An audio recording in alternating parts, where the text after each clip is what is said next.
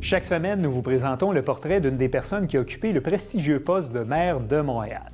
Et aujourd'hui, on s'attarde au premier des quatre maires qui, dans l'histoire de la ville, sont demeurés en poste plus de dix ans.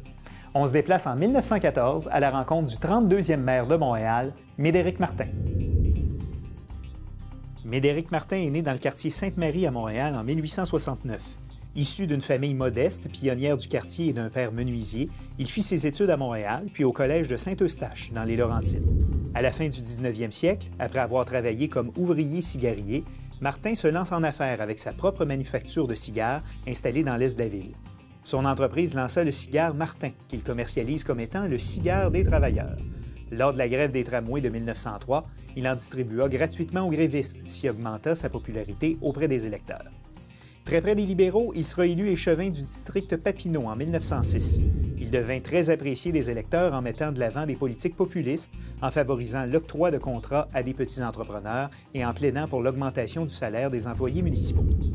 En 1909, son nom est associé à la gang des 23, un groupe de conseillers municipaux accusés de corruption, de favoritisme et de patronage. Martin est spécifiquement visé par des allégations de malversation de fonds. Suite à ce scandale, il perdra son siège lors de l'élection de 1910 et le regagna deux ans plus tard. Puis en 1914, Médéric Martin se présenta comme candidat à la mairie de Montréal. Après une dure campagne, il triompha contre l'homme d'affaires anglophone George Washington Stevens Jr., un ancien député libéral et président de la Commission du Havre. Cela mit fin à la tradition voulant que des maires anglophones et francophones s'échangeaient le pouvoir à la tête de la ville. Certains interprètent le rejet de cette alternance comme une réponse populaire à l'adoption en Ontario du règlement 17, voulant empêcher l'éducation en français et visant l'assimilation des francophones. Son passage à la mairie a été parsemé d'événements houleux. Au déclenchement de la Première Guerre mondiale, il appuie l'entrée en guerre du Canada, mais refuse que la ville dédommage des familles des volontaires qui s'enrôlaient puisqu'elle n'en a pas les moyens. En 1917, de nombreuses manifestations ont lieu dans les rues, alors qu'une majorité de Québécois s'oppose à l'enrôlement forcé dans l'armée. Après des émeutes et l'explosion de bombes, Martin en appelle au calme, même s'il s'était opposé à la conscription l'année précédente. En 1916 et 1917, la ville de Montréal engendre des déficits de près de 2 millions de dollars. Le premier ministre de l'époque, Lomer Gouin, force la ville à annexer la cité de Maisonneuve et à assumer sa dette de 19 millions de dollars. S'ensuit une autre tutelle de Montréal. Durant cette période, le maire et les conseillers n'ont plus qu'une autorité honorifique.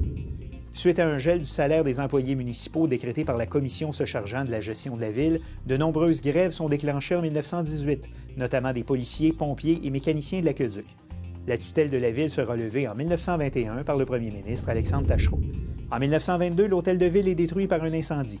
Les dommages sont évalués à l'époque à 10 millions, une somme équivalente à plus de 140 millions de dollars aujourd'hui.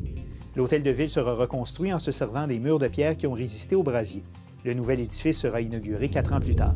Tout au long de son passage à la mairie, l'administration de Médéric Martin est secouée par de nombreux scandales de corruption et allégations de favoritisme. Cela amènera la défaite de Martin à l'élection de 1924 contre l'homme d'affaires Charles Duquette, dont la candidature était appuyée par les conservateurs, le clergé, le journal de Devoir et la communauté anglophone. En 1926, Médéric Martin est réélu pour un dernier mandat de deux ans, où il occupa le nouvel édifice de l'Hôtel de Ville, inauguré par son prédécesseur quelques mois plus tôt. Il quitta définitivement la politique municipale suite à sa défaite lors de l'élection de 1928 contre celui qui sera maire de Montréal pendant 18 ans, Camillien Houd. Médéric Martin aura été un homme politique très puissant. À l'époque, rien n'interdisait à un élu de siéger à plusieurs niveaux de gouvernement. Tout en étant maire de Montréal, il sera aussi député fédéral de Sainte-Marie jusqu'en 1917, puis membre du Conseil législatif du Québec dès 1919 et pendant plus de 25 ans. Il occupa ce siège jusqu'à son décès dans l'actuel quartier Pont-Viau de Laval en 1946, à l'âge de 77 ans. La Ville de Montréal se souvient du 32e maire de Montréal par un grand parc de son quartier natal, le quartier Sainte-Marie, baptisé en son honneur en 1953. Et un pont reliant l'arrondissement Onsic-Cartierville au quartier Laval-des-Rapides porte aussi son nom depuis 1983.